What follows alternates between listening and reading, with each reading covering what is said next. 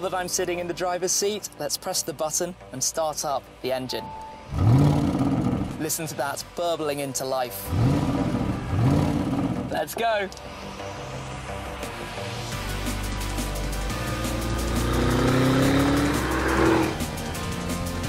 Pulling away gently, the car is currently with Audi Drive Select in Comfort mode. You can configure it, including the new RS1 and RS2 modes, which replace individual. You have two different settings accessible through the hotkey on the steering wheel, where you can literally just press the button and set the car exactly how you've pre-configured it. If not that though, you can pop it into Comfort or into Dynamic, depending on the driving experience. You've got the 8-speed automatic gearbox, comfortably doing its thing right now as we cruise on down the road with the three digital displays is part of the MMI system as well as the virtual cockpit, really just helping giving you lots of information and making it all very easy to know what's going on. There is a lot of technology inside this car, but just the moment, just gently driving and enjoying an element of what it's capable of.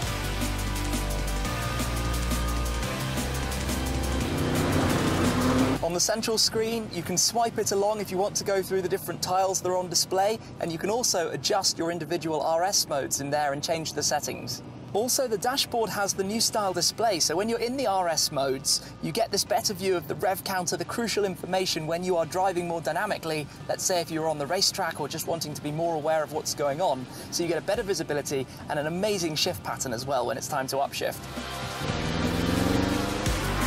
way the whole dashboard flashes is really cool.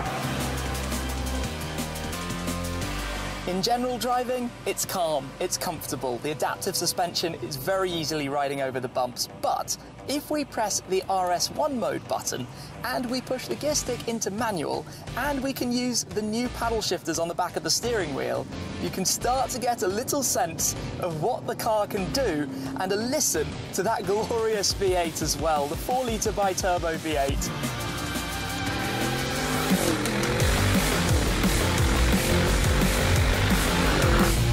Burbling away behind us. Really, a big part of the parcel that comes with this car, the ability to have, well now with five people with the optional five-seat configuration, all driving either in comfort if you're on a Grand Tour, for example, Gran Turismo style journey, or if you want to push a little bit harder, to drive like this on a nice twisty road, enjoying the car staying pretty flat, putting the power down with the Quattro system, and just riding the curves and basically putting a smile on the face as it should.